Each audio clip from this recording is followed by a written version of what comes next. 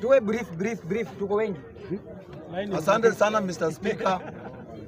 Umosi ya kababa wanawa Watu wameongea na kama wewe ni mwanaume utumie msichana pesa akule, tena umtumie akule. Nani mjinga? Ni wewe. Bado mnakuja hapo kubeba wasichana. Aliingia kwa mpesa yako akawaya pina. Msichana mwanaume akikutumia pesa kula, Yeye pia atakukula. tukuje kwa- tukuje kwa- tuache kudanganyana hapa, tuaje kudanganyana hapa. Ati saa hii bwana, hakuna mwanaume yote ajai kuliwa pesa yake na msichana, hakuna. Wote wamekuliwa. Kama Raila msichana alikuwa pesa yake, sembuse wewe. Hadi Ruto. So mimi naomba naomba watu wa bunge la nchi ya Jakarta, kitu ya kwanza tuheshimu wasichana.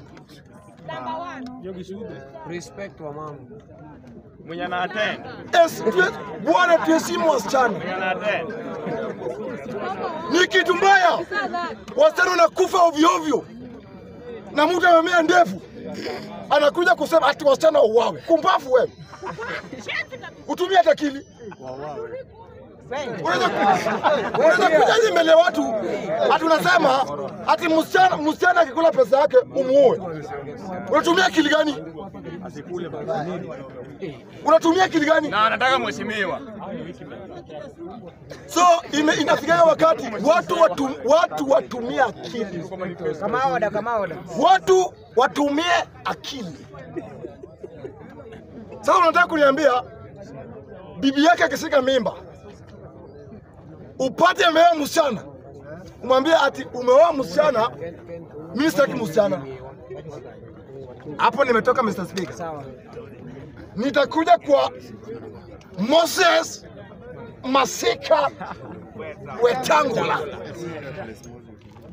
ya duniani ni hapa hapa tu, na nilisema William Samoei ni mjanja, anajua na watu wa Western ni wajanja pia. Wakikuja kwa tebo wanakujaga wengi. Bevadi amekuja, Hivyo vuteni nyuma kidogo. Ru, nani uh, Weta amekuja na Ruto ni mjanja, anasema muwezi kuja kwa meza watu wangapi? Wawili. Lazima nimalize mmoja.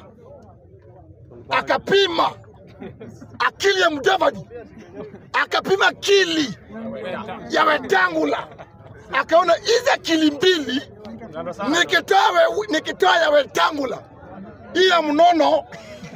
Nifanya kitu.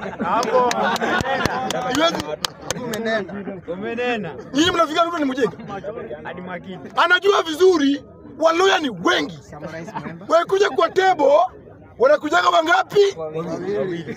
Sisi kama watu wa anza tunapeleka Raila Odinga peke yake.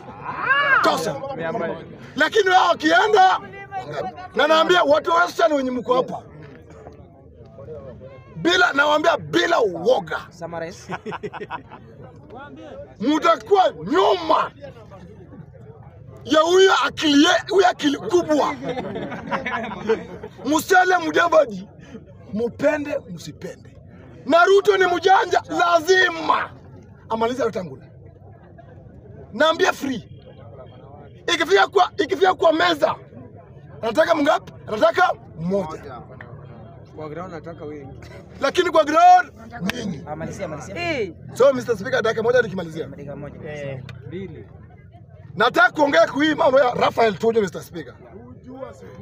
Mimi bado hii kitu inaniuma, Umera kama utaki. inaniuma. William Samoei Ruto, enda Luo Nyanza, ulize kwa nini Wajaluo wanaitwa serikali. Hiyo jina ilitoka wapi? Jina serikali. Usasikia Masai anaitwa serikali, usasikia mtu wa Mount Kenya Anaitwa anaitwa serikali, serikali moja. Jaluo peke yake. Makofi, makofi ya serikali. Hata kama ako maiti bado yeye ni serikali. Na mimi naongea bila uoga. Hakuna mjaluo mwizi, hakuna. Hakuna. Hakuna mjaluo mwizi. Aibangi hata jaliba aibangi hata mtihani. Ingekuwa jaluo ni mwizi hapa Nairobi, tungekuwa na samba kila mahali. Hata hizi manyumba tungechukua. Kabila gani yako na samba Nairobi? Kabila gani? So, so, so nikimalizia, Maliza. watu walikuwa wangapi? Wawili, Kenyatta na Jaramogi Oginga Odinga. Na Kenyatta alikuwa alikuwa smart kwa akili kushinda Jaramogi. Tulia. Kwa nini nasema hivi? Jaramogi alikuwa mwoga, lakini Kenyatta akasema mimi nacho si anaiba, anachukua. Jaluo anaenda nichukue nisichukue, lakini yeye akikuja anachukua yote. So naambia William Samuel Ruto, sasa na kitu yoyote unaweza cheza na yeye, lakini usiguse Jaluo.